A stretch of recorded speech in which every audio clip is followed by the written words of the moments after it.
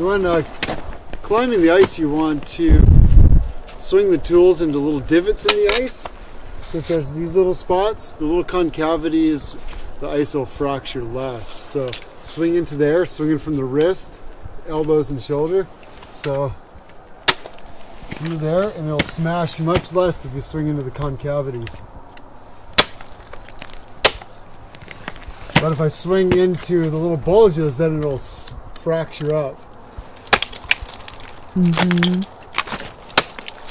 That's actually went in pretty well right there. Keep your feet about shoulder width apart.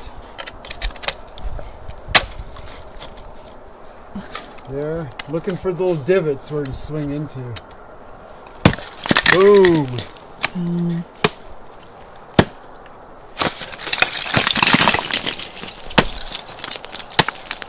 There, it created a little divot. Now it's holding. Aha.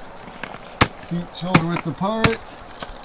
Now I'm. Oh, there's a little hooky do, so I don't even have to swing there at all. I can just put my tool right into the hooking place. Especially when you're the first person up an ice flow, um, you have to smash off a little bit of ice before you can actually get to the good solid ice. Uh huh.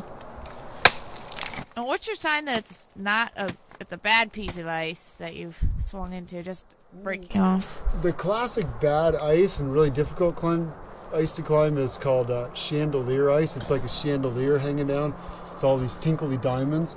So there's like half of the ice will be air. So it's really hard to get your uh, ice tool to hold in it. So if it's chandelier ice, you got to smash and smash and smash and dig way down in there, and then you'll eventually get into a place that'll hold your ice tool.